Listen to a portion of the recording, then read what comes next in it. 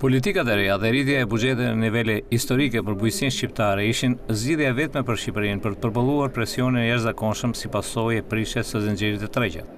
U detyruam vitin e kaluar të ndërtonim politika dhe të rrisnim buxhete në nivele historike për të përballuar këtë presion në mënyrë që të mbanim nivelet e prodhimit në kushte të pranueshme normale. Në kushtet kur Shqipëria mbetet vendi më bujqësor në Europë, duke kontribuar me rreth njëzet për qind të prodhimit të brendshëm bruto, Ministria e Bujqësisë gjeti një zgjidhje tjetër.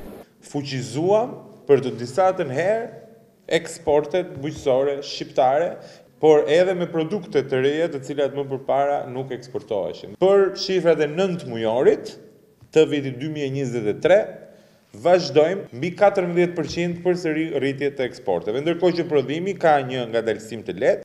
Numri dy i Ministrisë së Bujqësisë tregon dhe synimet e dikasterit deri në fund të këtij viti. Po punojmë për cilësinë, për ta rritur cilësinë e prodhimit shqiptar dhe jo vetëm terma të çmimit më të lartë, po edhe në terma të sigurisë ushqimore edhe të kushteve me të cilat prodhohet. Po punojmë për të aplikuar përherë e më shumë teknologjinë si mënyra më ashtu edhe panairi në fakt ishte Agrotech dhe e kishte fokusin tek teknologjia dhe e treta të bëjmë lidhjen gjithmonë e më të fortë me partnerët ndërkombëtarë. Ndonëse çmimet e prodhimeve bujqësore janë rritur dhe kërkesa nga jashtë për prodhimet shqiptare është e lartë, prodhimi nuk i është përgjigjur zhvillimeve të kohës.